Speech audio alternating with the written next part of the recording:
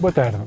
Cá estamos nós a falar da tinta Roriz, no Douro. Se estivéssemos no Alentejo estaríamos a falar do aragonês, mas se estivéssemos em Espanha estaríamos a falar do tempranilho.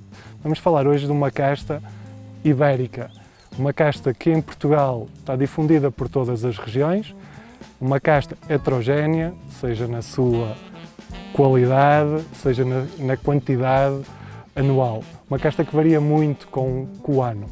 Uh, a casta tinta roriz uh, é uma casta com bastante expressão na região do Douro.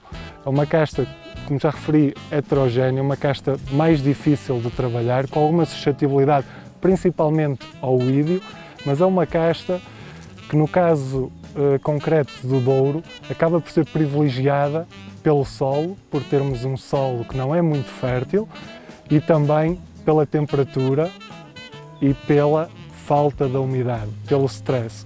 O que é que nos vai proporcionar? Estas condições, estas variantes vão vai nos proporcionar vinho mais equilibrado.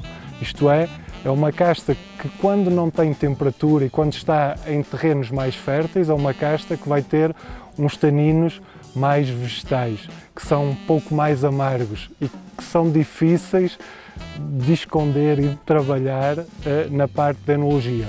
No caso do Douro, que estamos a falar de terrenos com pouca fertilidade, estamos a falar em temperaturas elevadas durante o verão, com umidade bastante baixa, é uma casta que se adapta muito bem. É uma casta que, que nos dá aqui uns taninos bastante polidos e é uma casta que é caracterizada aromaticamente pelos aromas a frutos vermelhos, as framboesas, as amoras, no caso de anos extremamente quentes, aparece-nos aqui um pouco também da fruta preta, do submaduro, e que, que acaba por ser também muito interessante para os vinhos do Porto.